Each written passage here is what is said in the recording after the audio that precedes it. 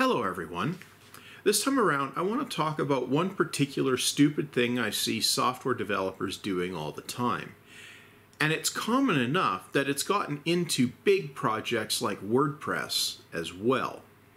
Not just the small things done by uh, amateur type developers. And now, a case could be made that much of WordPress development is done by talented amateurs, but it's uh, it's not something that uh, is relevant to this particular discussion. I see professionals and amateurs doing this sort of thing all the time. Now, the thing that I see them doing is encoding settings wrong.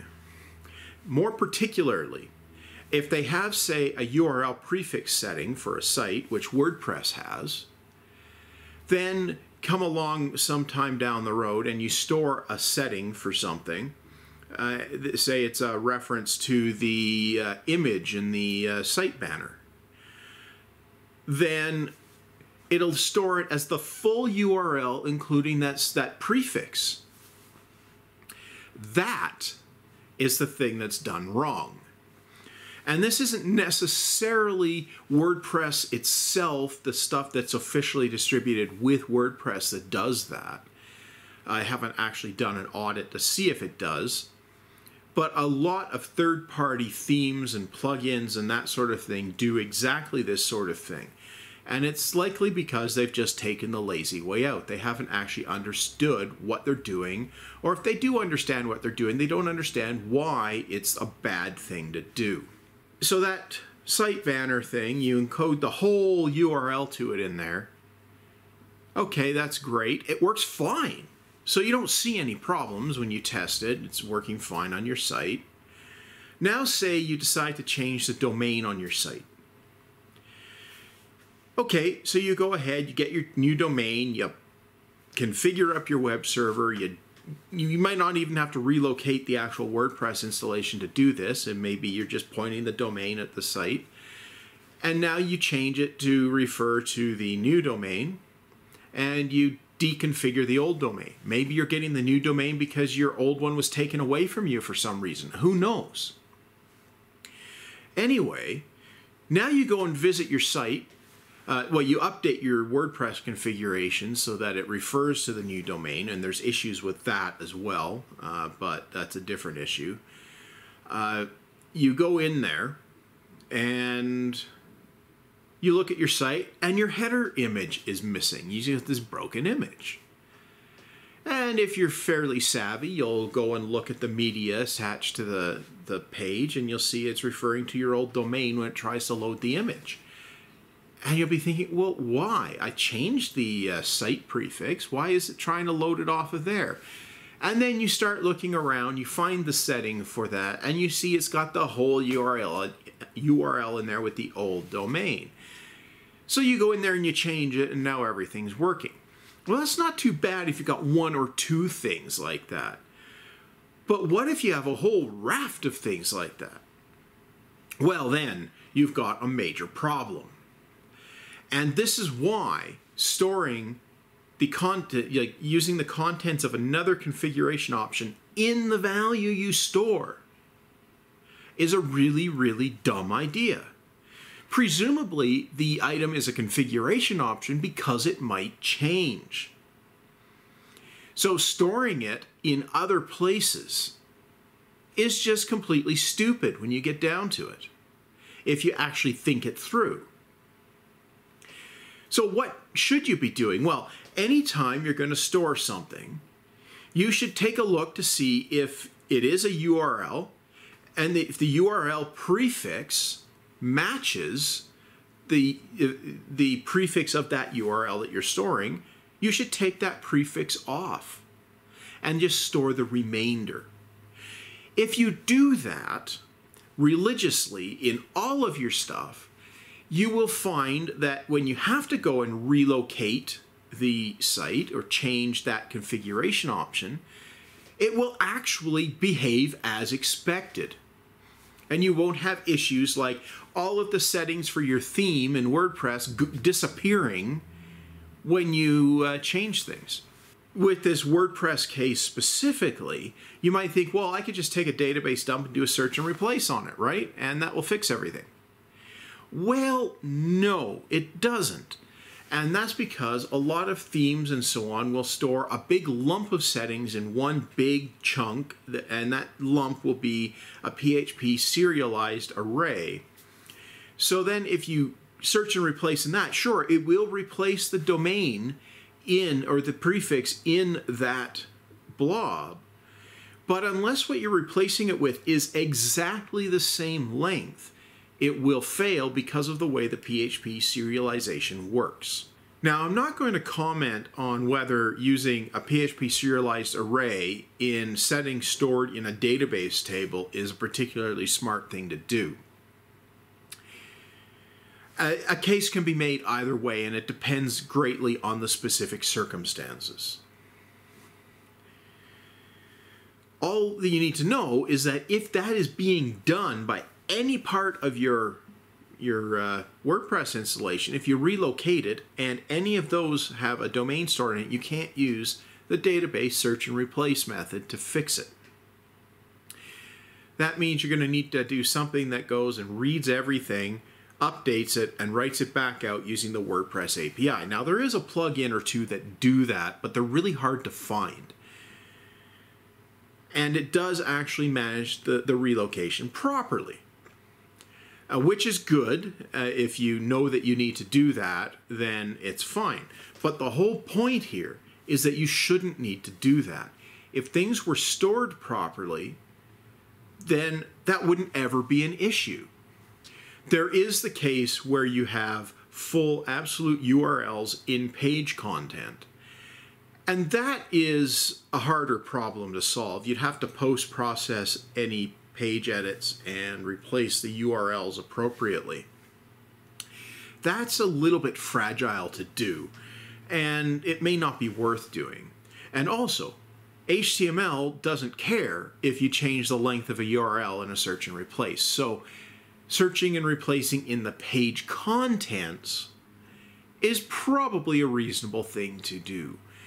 Even better would be as if the WordPress interface, the GUI and so on for editing things, wouldn't always encode the full URL when you do a, a search and uh, add an image to, say, or a link to another part of your site or something in your text. But that's a different issue altogether. That's just uh, user interface stupidity. And uh, again, it's also storing the URL prefix, which it knows about when it's building the link through the GUI. But that doesn't stop someone from manually putting in a link, copying and pasting it. So you're almost certainly going to get the odd bad link in, in that manner in the uh, in the actual database. Uh, you know, like uh, for instance, uh, Drupal actually does a reasonably decent job of handling the site prefix thing it actually tends not to store the site prefix as part of things, but you still end up with that particular problem with absolute links hard coded in the in the site content. And that's down to bugs in the users more so than bugs in the software. You just want to avoid creating that bigger bug where you're storing the actual current contents of one configuration setting as part of the value of another configuration setting. Don't do that. Now, it can require a little bit of tedious detail work to do this right, and it requires potentially some research and understanding the software that you're building for. So, if you're building a plugin for WordPress or a theme, do not store settings in uh, you know, do not store the contents of one setting as the value of another. Do not store the entire site URL in your settings. Now, I shouldn't have to say this, but as far as I can tell, pretty close to 100% of plugins and themes do this. And it's really, really, really unfortunate because it doesn't have to be that way. Now, I should point out it's not just WordPress that does this. And you it's not just software running web pages that does this. So if you're sitting back laughing at the idiot web designers because you build desktop applications or something, sit back and think about how you've designed your configuration settings for your desktop application. Does, does it have one path that specifies where the installation is and then, then a bunch of relative paths to the various pieces if it needs to store paths and configuration files?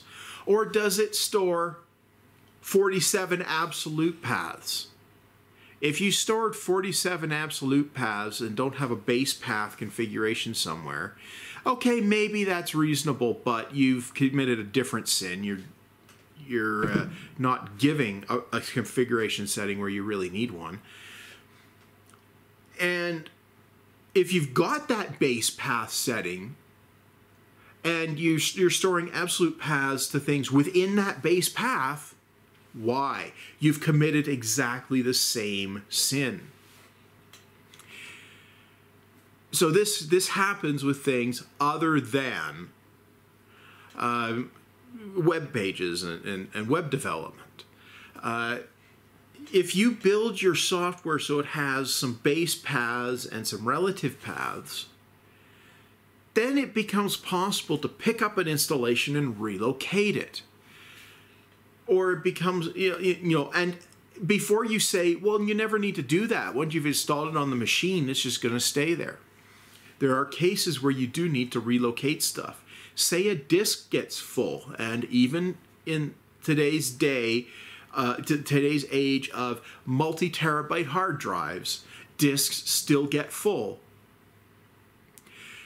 You may want to relocate a particularly large application from one disk to another and that's almost certainly going to involve changing at least the base path to it. So before you get all um, smug because you don't do things like websites which get relocated all the time, think about it carefully. Uh, there, there are some things where it doesn't really make any sense to do that because the base path isn't really a base path, it's just a coincidence that the stuff is under the same folder. So you have to do this on a case by case basis. You have to examine it on a case by case basis and attempt to make the best call. Now, I'm not I'm going to be the first person to admit that it's not always obvious what you should do. So, invariably you're going to mess it up at some point or another just make sure you've designed your configuration scheme so that you can add new settings in a way that doesn't break existing stuff so you can actually deal with it.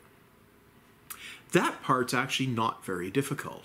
I guess the, the whole point of this is that if you're a software developer of any kind and you're implementing any kind of configuration options, just make sure you're using the configuration options that you have. Uh, if you know you don't need five options to specify the base installation path for a software package. You don't need three site prefix options. And I've seen that in uh, website code actually. You also don't need to be encoding that URL prefix in every configuration setting that refers to a file on the site which is what WordPress tends to do. So if you've got these settings, use them. Use them consistently. The settings are not useful if you don't use them consistently. Now, admittedly, if you've got a massive project that's already doing things badly, it's not an easy task to retrofit it retrofit a proper configuration system into it. So you'll often end up with this type of mess if you're attempting a retrofit. And these retrofits often never get finished. But if you're greenfielding a new design for a project, do avoid doing it. Do avoid this type of idiocy in the configurations. If everybody would pay attention to this, this basic situation, this principle, then a lot of web developers and other software users would have a much easier time doing the what should be the trivial parts of their jobs, which is moving things from one place to another after developing it. Anyway, that's enough of a rant for today. If you want to be notified of future videos, make sure to subscribe. And if you've watched this far, thanks for watching.